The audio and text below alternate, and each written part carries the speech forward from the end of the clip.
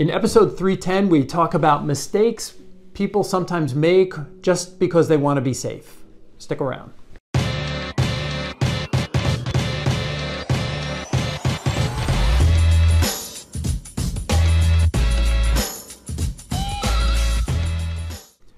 Welcome to the Mullooly Asset Show. I'm your host, Tom Mullooly, and this is episode number 310. Every time I think of the number 310, I think of that movie, 310 to Yuma. Have you seen it? You may want to if you're worried about your investments or worried about the stock market or you're kind of panicky about what's going on right now.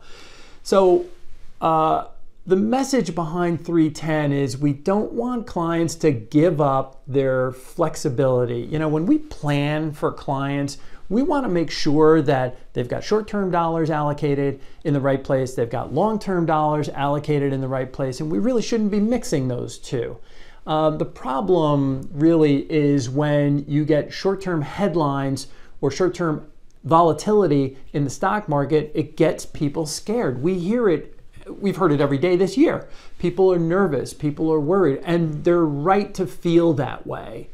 So we don't want to be in we don't want to see clients in a position where they become what we call in the business a forced seller.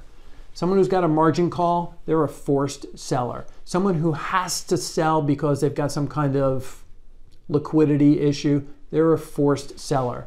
When someone decides when they made up their mind that they want to cash out their investments or their retirement account and move to the sidelines, they have identified themselves as a forced seller. We don't want people to be doing that. It's a panic move.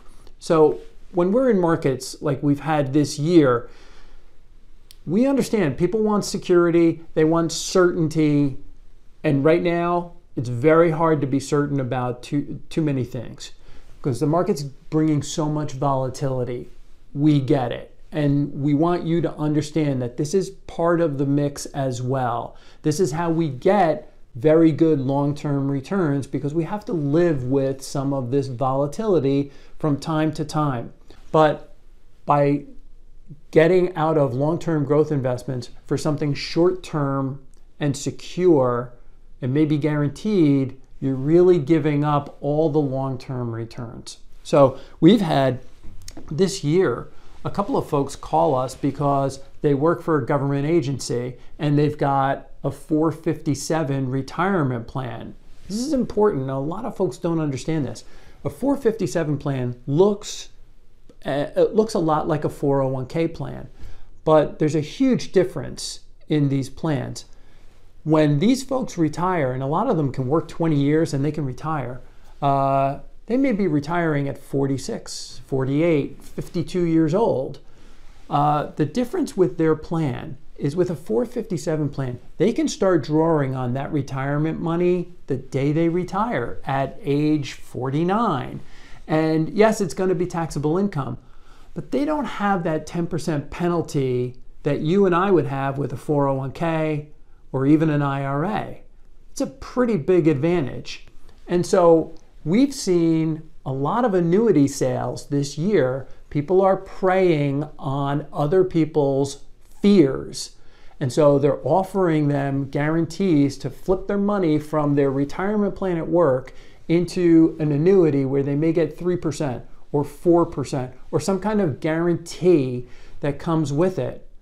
What we're seeing is money is coming out of 457 plans and going into IRAs you are now subjecting all of that money to a 10% penalty before 59 and a half. That's reckless.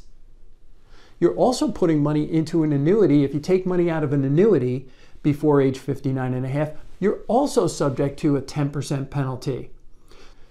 You've got to really be certain about what is short-term dollars versus long-term dollars. If you are in a situation where you've got money long-term and you're in your 40s or even in your 50s. This is money that needs to last for 25, 30, 35 years or more. And so we need to remember when we're investing for the long term, there will be some volatility. It happens, it comes with the territory. It's very important to keep aware of that. So I uh, started the video by talking about 310 to Yuma. Check it out This is a story, it was a great book uh, by Elmore Leonard. They turned it into a very uh, popular movie uh, 50 years ago. They remade it recently with Russell Crowe and Christian Bale uh, not that long ago. But it's basically the story of a guy who falls behind, starts having money problems, and makes one panicky decision after another. Don't let that be you when it comes to your investments. 310 to Yuma. Thanks for tuning in.